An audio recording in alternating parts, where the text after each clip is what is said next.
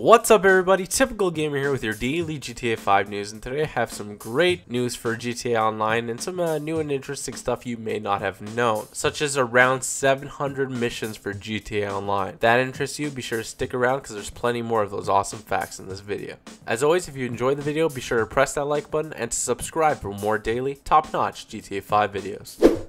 So in an interview with a Spanish gaming magazine, Leslie Benzies gave away a couple of details about GTA Online which are quite interesting. A couple of things he gave away is that the camera will zoom out and pan away to your online character seamlessly, just like switching between any of the three main protagonists. Your character is going to be on that wheel there, and that's the fourth mystery character, I guess you guys were calling it, that if you press the down on the D-pad that you'll get to that character. During the animation, this is when the matchmaking process will begin. So there is really no loading screen for matchmaking you don't have to go into your phone to get that up. All you have to do is press down on your D-pad and you will go into online multiplayer. Matchmaking will depend on which friends are playing and what people have ranks near you. So that's a little bit confusing. I mean, will you be always put in with your friend? How do you play with your friends if you just want to free roam for a bit? Like, how's that going to work? That's a bit interesting that it's going to put you automatically into a game with your friends and that with people with a similar rank with you so that you could rank up and grow together. You can do almost anything you can do in single player in GTA Online, which is great. That means sort of some things from GTA Online will translate back to single player, meaning that we have a lot of features in this game.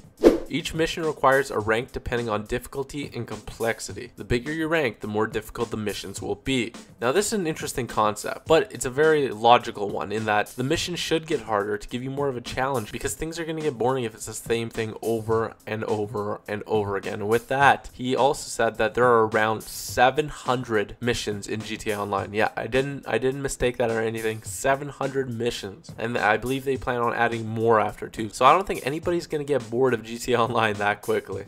Missions will be ordered randomly as you play online. So those 700 missions, yeah, they're going to be thrown around a bit. You probably don't know which ones are going to start, but I'm going to assume there's some order to some of them, but a lot of them are going to be random. For certain heists, you might need certain weapons, vehicles, or characters such as a sniper or driver. Now to uh, elaborate a bit on this, I don't think that uh, like you can train your sniper skills or train your driver skills like specifically like in a gun, but you can train your overall skills in GTA Online. But I think it means more like you're gonna need someone to snipe from a distance for this mission. You're gonna need a driver for this mission. And that's sort of the way that's organized and how the heist will work. I mean, in your apartment, in your property that you can buy on GTA Online, you can have a planning room. So this is all of where this is going to take place. And that whole factor, that's going to depend on the mission creator if you download the mission from the social club. Some missions are so complex they need plenty of good communication. Like I said in my 25 facts video, you can yell and guards will look at you, you can shoot and guards will look at you, and that's where the whole good communication comes in. And that's where the planning room in your apartment and property, that's where you should make all these plans and get everything ready so that your heist goes perfectly as planned and uh, you don't lose people. So there will be descriptions to help each character on its heist function. So it all ties into the point that in the planning room, it tells you what to do as your character and what your role is.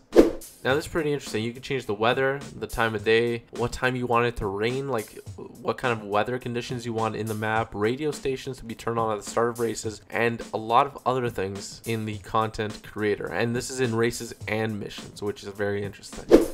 Now something I touched upon in my GTA Online analysis video, which if you haven't checked out, you should be sure to check it out. It's 14 minutes of pretty awesome content, so that'll be a link in the description. And so you're to have team lives, and in that one, I think it said six team lives. So if you have four people on your team, if you all die and then you all respawn and two more die, you fail that mission. You're done. That's how a lot of missions will be determined if you fail or not. Another interesting feature, again, I touched upon in my uh, 25 confirmed facts video, is that in addition to watching the pursuits on the television, you can also watch races and death matches from your apartment TV. I mean, like, just in real life, you don't have to leave your apartment anymore. You don't even have to play Grand Theft Auto. You can watch other people play it. And finally, GTA Online will run on the social club server, so the data will be stored on the cloud, which means that it won't be directly stored onto your hard drive, meaning they could update things quickly and that you get it near instantly. And there are data centers in New York to San Diego and a bunch of other Rockstar studios. So yeah guys, that's some pretty interesting, pretty awesome GTA Online news. So I want to know, what's your favorite part of GTA Online so far? I mean, there are plenty of details that still come out, but so far, what is your favorite thing? Leave a comment below and let me know what you think. As always, be sure to click that like button and to subscribe for more daily GTA 5 news.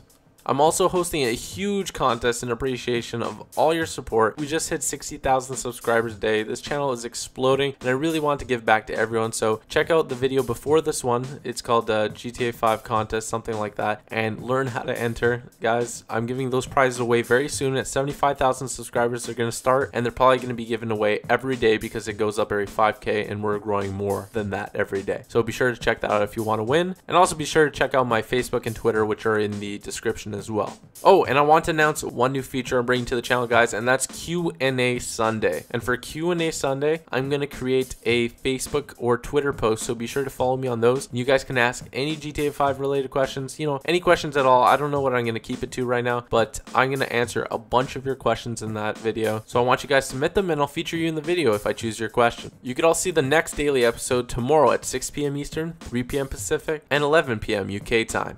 Thank you guys for watching. I hope you have an awesome day and peace out.